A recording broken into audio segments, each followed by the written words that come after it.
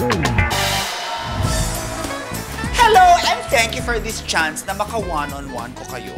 This is of course the queen of all medyas, Chrissy Akinis, talking about something that has played an important part in my life. Balls. Yes, balls. A ball is round. Yes, it's not a circle. Hello, it's a sphere. Yes, you can throw it, you can catch it, or simply play with it. And it always reminds me of Tito Boy's head. Ball.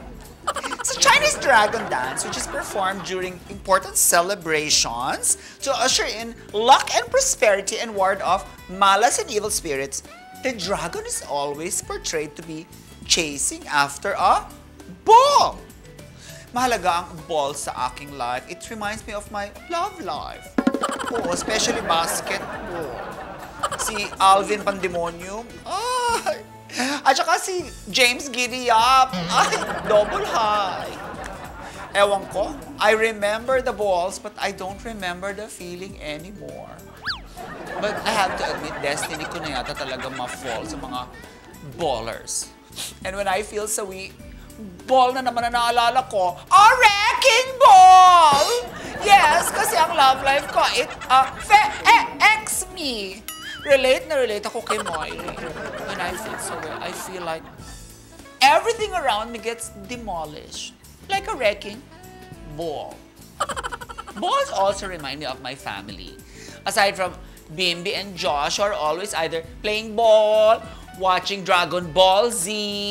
Eh, andyan ang ate ko, Ball C.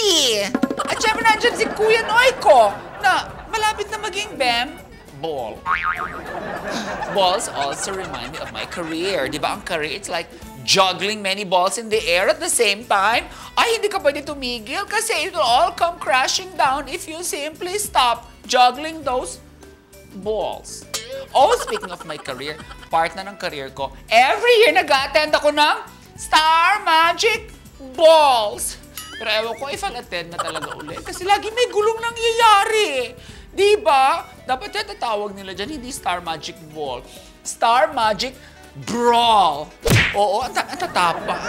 Although, part naman ng ball sa pagiging matapang. Balls have come to symbolize courage or bravery. Guts, di ba? When someone tells you, you have balls, it could mean that. But it also could mean that you are brash, presko, masyado malakas ang dating. Naku, lalo na if you're a woman. Naku, if you're a woman and people say you have balls, it could mean that you're a very manly type of woman. Or they have mistaken you for somebody na nagpa-opera sa Thailand. balls, balls, balls, balls, balls. The one thing that everyone should remember about balls is that you can always crush them. Yan ang aking little talk that's very valuable. May this year be a lesson na punong-puno ng word na ball. Yes, this year, medyo maraming mga bad news, masamang nangyari, mga calamities. You can say the year was Terry Ball. But next year, like a ball, we can all bounce